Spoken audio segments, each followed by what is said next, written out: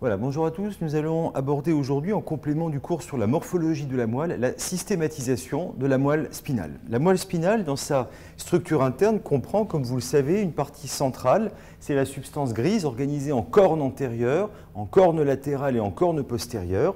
La substance grise comprend les corps cellulaires de neurones et est donc dévolue aux fonctions de centre nerveux.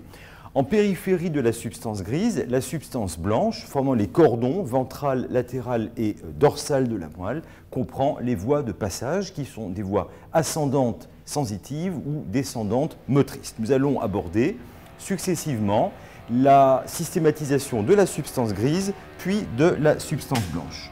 La substance grise de la moelle présente trois portions. Une portion antérieure, c'est la corne antérieure, qui est dévolue à des fonctions somatomotrices. Elle comprend des euh, corps cellulaires de motoneurones dont les axones, les fibres efférentes, vont quitter la corne antérieure de la moelle, s'engager dans la racine antérieure du nerf spinal, puis dans le nerf spinal, et ensuite dans le rameau ventral lorsqu'il s'agit des plexus ou des nerfs intercostaux, et dans le rameau dorsal du nerf spinal pour les muscles paravertébraux. L'effecteur du motoneurone est la cellule musculaire squelettique euh, striée.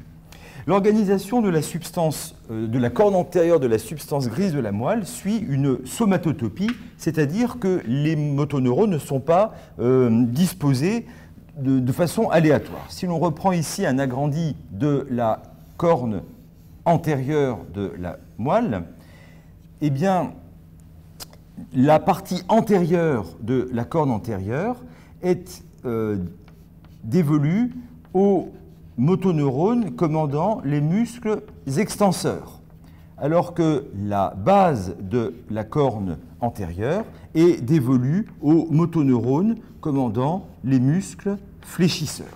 Mais il existe également une somatotopie de médial à latéral. En effet, et ça on va pouvoir le représenter ainsi, les motoneurones extenseurs et fléchisseurs situés médialement sont euh, annexés aux muscles des racines des membres, alors que les motoneurones latéraux sont destinés aux muscles distaux, aux muscles des extrémités. Et ceci a un intérêt important, notamment compte tenu de ce que l'on avait vu sur la vascularisation de la moelle, et en particulier des artères issues de l'artère spinale antérieure et qui perforent ainsi la euh, fissure ventrale médiane. En effet, ces euh, artères vont vasculariser principalement la partie médiale de la corde antérieure de la moelle, donc les neurones destinés aux racines des membres. Et ainsi, dans les syndromes de l'artère spinale antérieure, parce qu'il existe une oblitération de l'artère spinale antérieure, eh bien nous pourrons avoir une nécrose médiale de la corde antérieure avec des neurones latéraux qui sont préservés et ainsi des paralysies qui prédominent au niveau des racines des membres, c'est-à-dire des ceintures ou des muscles axiaux, mais qui n'existent pas au niveau des extrémités. Et ça, c'est un piège diagnostique dans euh, ces syndromes de l'artère spinale antérieure.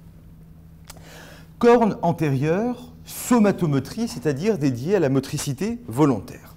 En arrière se trouve la partie antérieure de la corne latérale de la moelle qui, elle, va être annexée ici aux fonctions viscéromotrices. On va y trouver essentiellement les grands centres sympathiques viscéromoteurs de euh, la moelle.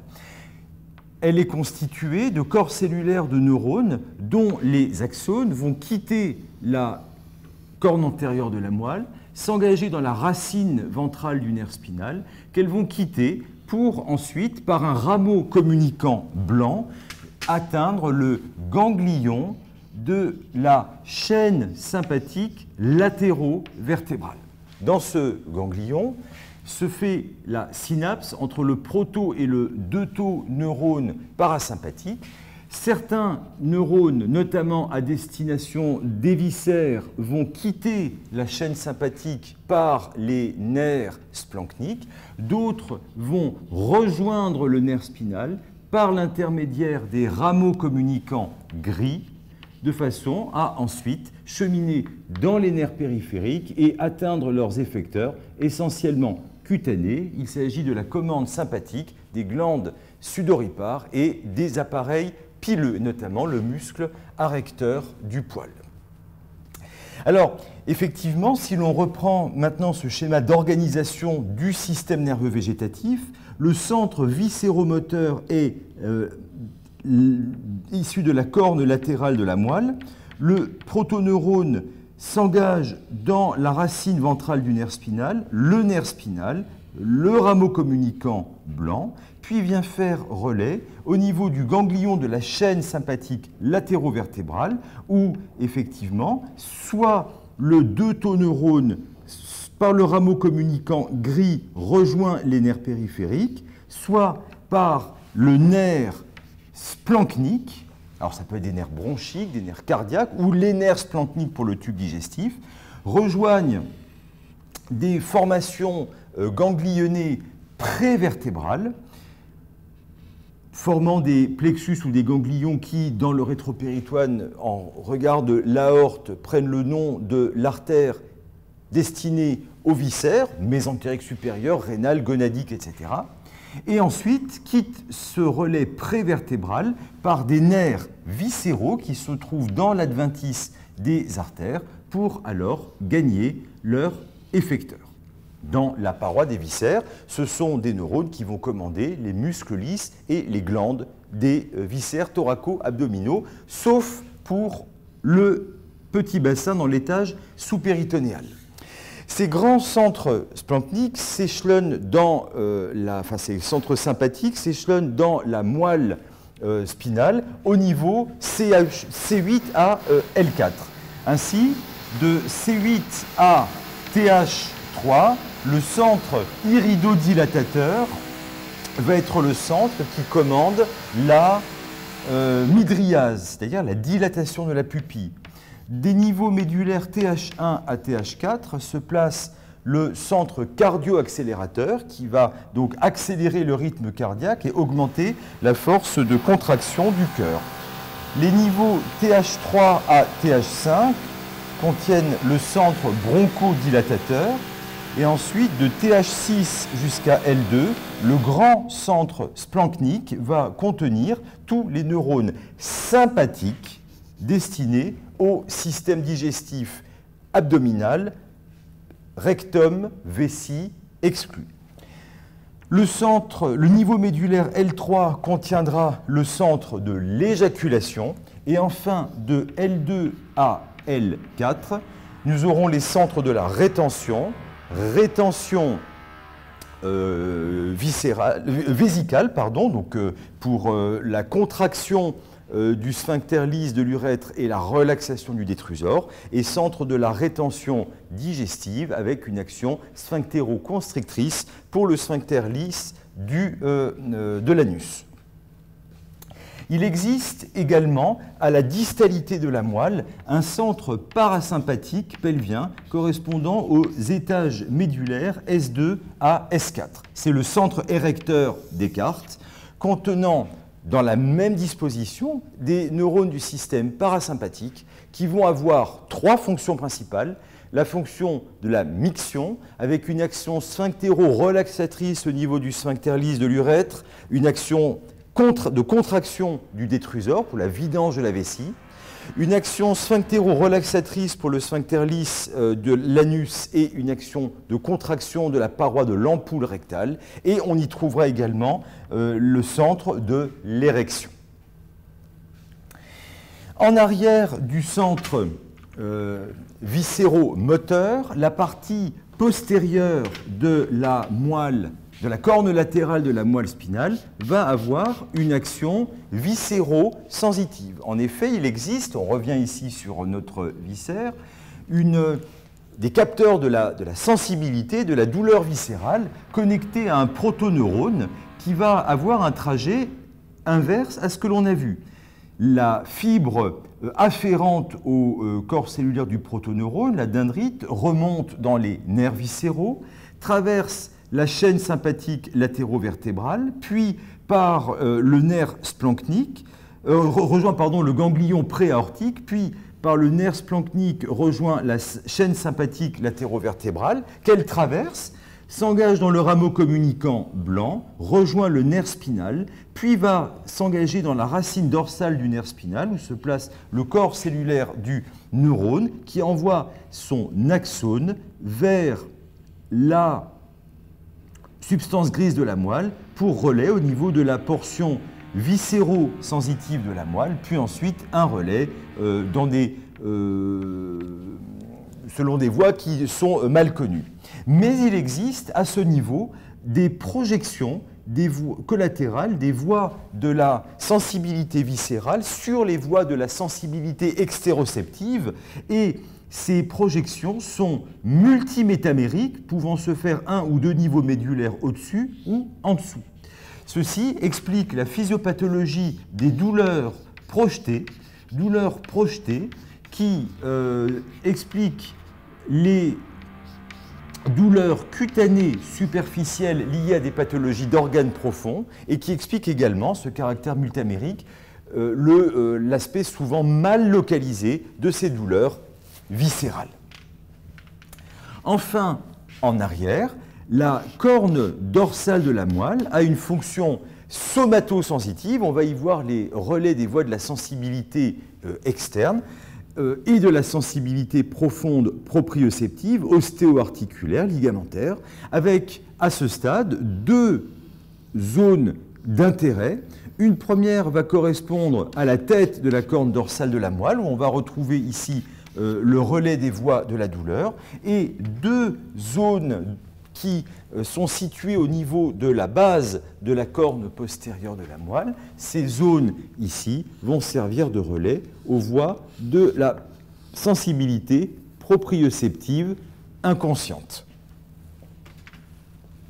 Voici pour la systématisation de la substance grise de la moelle. La substance blanche, euh, alors et, dernier, point, évidemment, mais on l'avait déjà, euh, souligné, la substance grise dans la moelle s'organise sous la forme de colonnes continues tout au long de la, sur toute la longueur de la moelle. On va donc, quand on, quand on considère la totalité de la moelle, parler d'axes gris, mais bien sûr, ces colonnes en coupe horizontale déterminent des noyaux raison pour laquelle on peut également parler de noyau, noyau de la tête, noyau de la base par exemple de la corne euh, postérieure de la moelle, à ne pas confondre bien sûr avec les noyaux du tronc cérébral euh, qui euh, seront étudiés un peu plus tard. La substance blanche, voie de passage, comprend des voies ascendantes qui sont des voies sensitives et des voies descendantes qui sont des voies motrices. Les voies ascendantes vont véhiculer euh, plusieurs types de sensibilité, dont la première est la sensibilité du tact grossier, ce que l'on appelle le tact protopathique, et les euh, voies de la sensibilité thermoalgésique, c'est-à-dire la sensibilité à la douleur et aux informations liées à la température. Cette voie, eh elle a elle va se faire dans la moelle par un tractus qui est le tractus spinothalamique.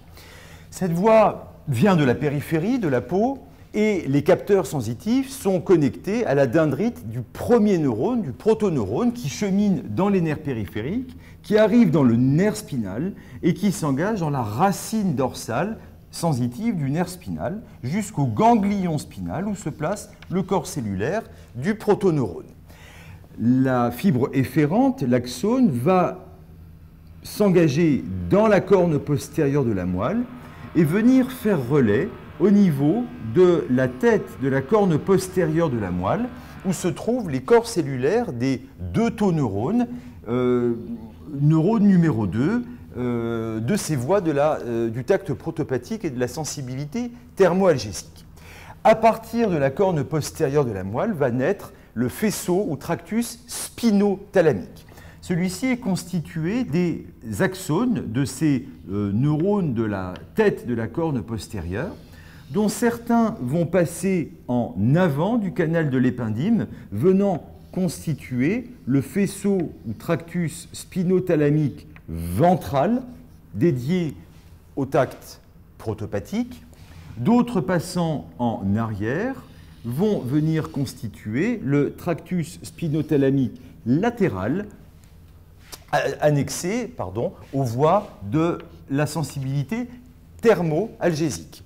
À chaque étage médulaire, le deutoneurone croise la ligne médiane et fait donc sa décussation.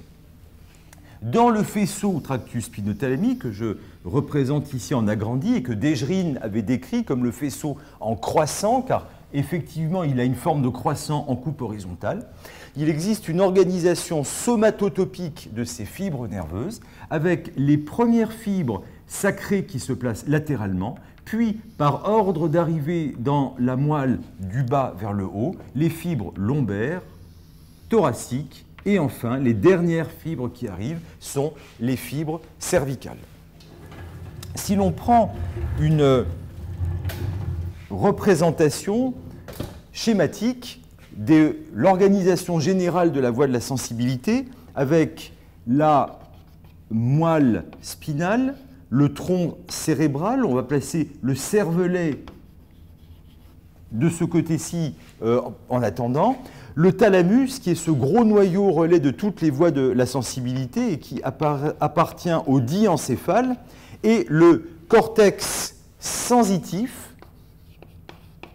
cortex sensitif qui se situe au niveau du lobe euh, pariétal, eh bien, cette voie de la sensibilité euh, protopathique et thermoalgésique fait relais au niveau de la moelle, de la corne postérieure. À chaque étage médulaire fait sa décussation pour former le faisceau ou tractus spinothalamique. Et c'est dans le thalamus que se trouve le troisième neurone thalamo-cortical qui projette l'information sur le cortex sensitif et lorsque l'information est projetée sur le cortex sensitif, elle devient alors consciente.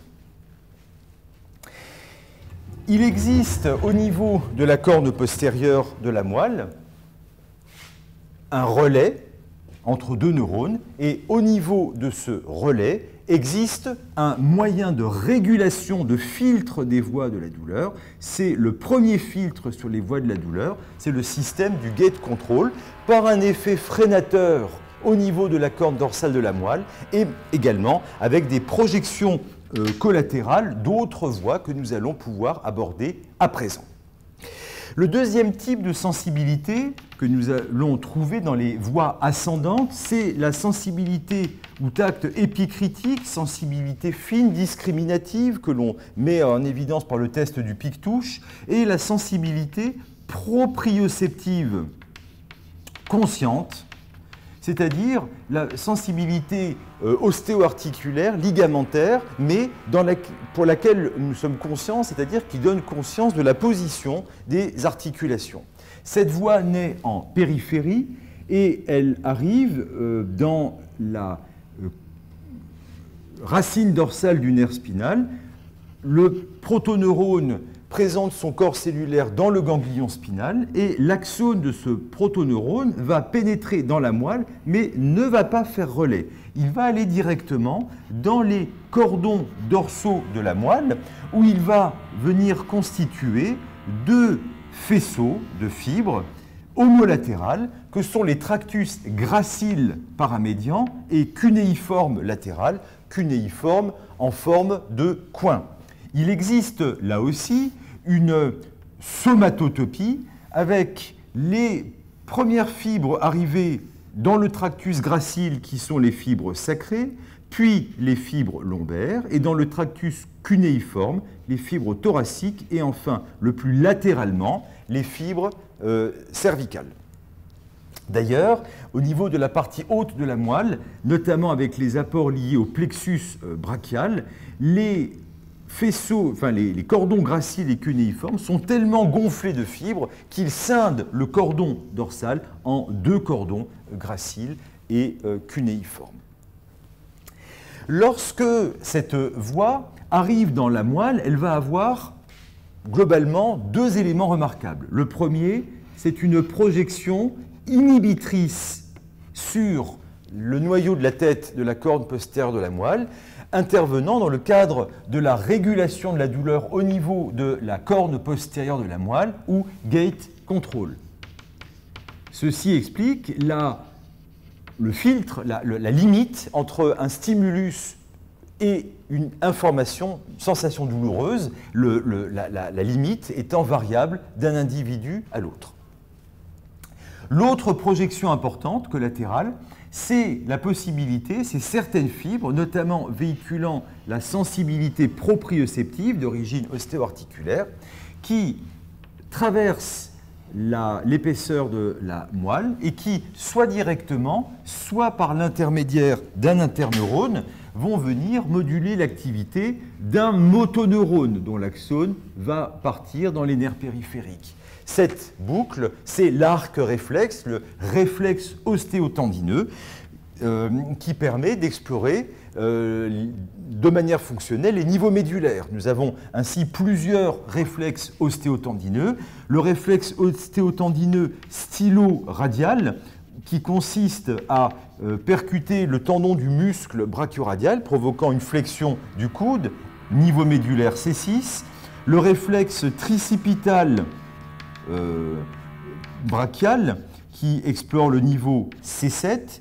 Le réflexe crémastérien, où là, cette fois-ci, il s'agit d'une afférence d'origine cutanée, euh, réflexe niveau médulaire L1, le réflexe patellaire par percussion du réflexe patellaire, du ligament patellaire, explore le niveau médulaire L4, et le réflexe achilléen, tendon d'Achille, explore le niveau S1.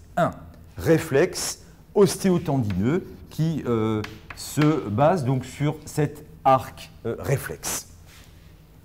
Si l'on reprend notre schéma de systématisation globale pour situer cette voie dans les grandes voies de la sensibilité, voie de la sensibilité épicritique proprioceptive consciente, avec une entrée dans la moelle,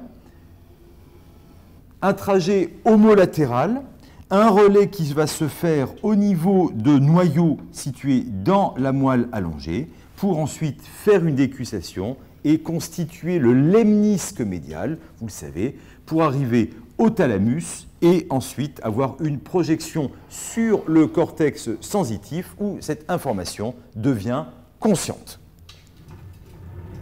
Nous avons enfin une dernière voie de la sensibilité présente au niveau de la moelle. Cette fois-ci, il s'agit d'une sensibilité profonde, proprioceptive, mais inconsciente. Elle va faire intervenir le cervelet. Les capteurs sont musculaires, tendineux, situés dans les ligaments, et les euh, dendrites des protoneurones cheminent dans les nerfs périphériques, arrivent au corps cellulaire du neurone qui est dans le euh, ganglion spinal, et cette fois-ci, l'axone de ce protoneurone va pénétrer dans la moelle et venir faire relais au niveau des deux noyaux que nous avions mis en place au niveau de la base de la corne postérieure. Ces noyaux contiennent les deux neurones qui vont constituer les voies spino-cérébelleuses. Ainsi, le noyau médial va, les neurones situés dans le noyau médial vont envoyer leurs euh, axones dans la moelle du même côté, venant constituer le faisceau ou tractus spino-cérébelleux dorsal, spino-cérébelleux dorsal direct qui va remonter dans le cordon latéral homolatéral de la moelle. Le noyau latéral va lui envoyer, ou les neurones situés dans ce noyau latéral vont croiser la ligne médiane et venir se placer dans le faisceau ou tractus spino-cérébelleux ventral où ils vont remonter spino-cérébelleux de la moelle vers le cervelet. Si nous reprenons notre schéma global d'organisation des voies de la sensibilité, cette voie arrive au niveau de la moelle, fait relais dans la corne postérieure et va soit de façon homolatérale, faisceau spinocérébelleux dorsal, soit croisé à deux endroits, spinocérébelleux ventral, venir projeter ces informations non plus sur le cortex sensitif, mais sur le cervelet. Il s'agit là donc d'une information inconsciente, puisqu'elle n'aboutit pas au cortex cérébral, mais à un niveau sous-cortical. La voie spinothalamique, la voie du cordon postérieur et la voie, les voies spinocérébelleuses sont les trois grands types de faisceaux de voies euh, euh, ascendantes, donc sensitives, présentes au niveau de la substance blanche de la moelle. La moelle spinale va enfin présenter des voies descendantes qui sont des voies motrices. Et ces voies motrices, nous allons d'abord les mettre en place sur les schémas, l'organisation générale des voies de la, euh, des, voies, euh, des voies de la moelle. Et il convient donc à partir du cortex moteur, qui est situé essentiellement au niveau du lobe frontal, et de noyaux sous-corticaux que l'on va représenter pardon, en orange, noyaux sous-corticaux, nous allons voir que ces voies de la motricité, ces voies descendantes, elles sont de deux types. Les voies motrices d'origine corticale, c'est le système pyramidal, avec la plupart de ces voies qui vont décusser au niveau de la décussation pyramidale, et d'autres qui vont rester homolatérales et faire leur décussation à chaque niveau médulaire. Ces voies d'origine corticale constituent le système pyramidal venant donc moduler l'activité du motoneurone de la corne antérieure de la moelle. Ces voies d'origine corticale sont des voies motrices volontaires. Les voies, d'autres voies motrices sont issus de, neurones qui sont d'origine sous-corticale, dans des noyaux sous-corticaux, que l'on trouve essentiellement dans le tronc cérébral. Ces voies, qui peuvent être croisées ou non d'ailleurs, vont également venir moduler l'activité du motoneurone de la corde antérieure de la moelle, mais cette fois-ci agissent dans le cadre de la motricité automatique qui a pour objectif la coordination des mouvements volontaires, qui a pour objectif la coordination du tonus musculaire, mais aussi l'inhibition de mouvements involontaires, de mouvements indésirables, dans le cadre d'une balance. Et finalement, le motoneurone, qui se trouve dans la corne antérieure de la moelle, va recevoir une euh, stimulation corticale volontaire, sous-corticale automatique, et c'est la balance de toutes ces afférences qui va permettre l'exécution du mouvement. Au niveau de la moelle, et nous allons en terminer avec euh, ceci. Nous allons reprendre une coupe vierge euh, horizontale de la moelle. Vous reconnaissez donc l'avant euh, vers le haut, l'origine d'un nerf spinal, racine antérieure motrice, racine dorsale sensitive avec son ganglion spinal. Eh bien, dans la moelle, nous allons retrouver en pleine épaisseur du cordon latéral le faisceau tractus cortico-spinal latéral, corticospinal latéral qui représente euh, le principal euh, faisceau euh, d'origine corticale est constitué de fibres descendantes et qui, à chaque niveau médulaire, va envoyer des fibres qui vont quitter le faisceau corticospinal latéral et venir moduler l'activité du motoneurone de la corne antérieure de la moelle. Les fibres d'origine pyramidale qui n'ont pas réalisé leur décussation au niveau de la grande décussation pyramidale forment le mince cortico-spinal ventral constitué de fibres qui, à chaque niveau médulaire, croisent la ligne médiane pour finalement euh, atteindre le motoneurone contralatéral, si bien que les voies motrices sont euh, tout à fait totalement euh, croisées. Nous avons également dans la moelle des faisceaux, donc là je mets le corticospinal de l'autre côté, et nous avons dans la moelle bien sûr tout un ensemble de faisceaux d'origine sous-corticale qui donc font partie de ce qu'on appelle le système nerveux extrapyramidal, système nerveux automatique. Alors ces faisceaux, on les cite pour le moment, ils sont dans le cordon latéral, faisceau rubrospinal qui provient du noyau rouge, et le faisceau tectospinal latéral et réticulospinal latéral. Ces deux faisceaux sont issus pour le tectospinal latéral des colliculus et pour le réticulospinal latéral de la substance ou formation réticulée descendante du tronc cérébral.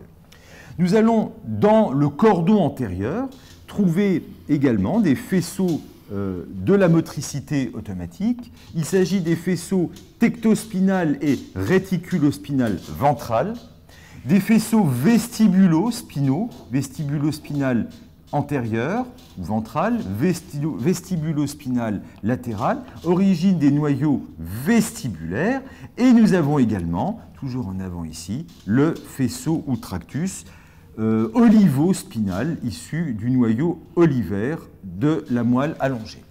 Tous ces faisceaux contiennent des fibres descendantes qui, à chaque niveau médulaire, viennent moduler l'activité du motoneurone de la corne antérieure de la moelle, venant s'inscrire dans ce que Sherrington appelait la voie finale commune, c'est-à-dire que le motoneurone, qui au niveau de la plaque motrice va contrôler l'activité du muscle squelettique, est contrôlé par un ensemble important de faisceaux descendants qui permettent d'en moduler euh, l'activité. Nous terminerons cet exposé en replaçant de l'autre côté cette fois-ci, en synthèse, les voies euh, ascendantes. Il s'agit donc des voies spinocérébelleuses, ventrales et dorsales, ces faisceaux spinocérébelleux s'intégrant dans la, voie du, du paléocervelet pour la euh, modulation du tonus musculaire. Nous avons à cheval entre la corne ventrale et la corne latérale de la moelle, le faisceau spinothalamique avec une portion antérieure paléospinothalamique ou spinothalamique ventrale pour la sensibilité protopathique et en arrière et latéralement la voie néospinothalamique ou faisceau spinothalamique latéral pour les voies thermoalgésiques. Et nous avons dans le cordon dorsal de la moelle, les faisceaux graciles médialement et cunéiformes latéralement qui véhiculent les informations de la sensibilité fine, épicritique, discriminative et les voies de la sensibilité proprioceptive consciente. Voici donc euh, euh, cette systématisation euh, de la moelle spinale. Donc avec la substance grise, centre nerveux, corne antérieure, motrice volontaire, somatomotrice constituée des motoneurones euh, de la corne antérieure, dont l'effecteur est le muscle squelettique. Puis nous avons la partie antérieure de la corne latérale de la moelle qui a une fonction viscéro-sensitive, contrôle du muscle lisse et des glandes, une portion postérieure de la corne latérale de la moelle qui est viscéro-sensitive, et enfin la corne postérieure qui est somato-sensitive, avec la corne, la tête pardon, de la corne postérieure où se fait le premier relais des voies de la douleur et la base de la corne pour les relais des voies de la sensibilité, enfin euh, proprioceptive inconsciente euh, s'intégrant dans le fonctionnement du paléo-cervelet. Nous en avons donc terminé avec cette systématisation de la moelle et consacrerons les prochains enseignements à l'étage qui se situe au-dessus au niveau du névrax, c'est-à-dire le tronc cérébral. Merci de votre attention.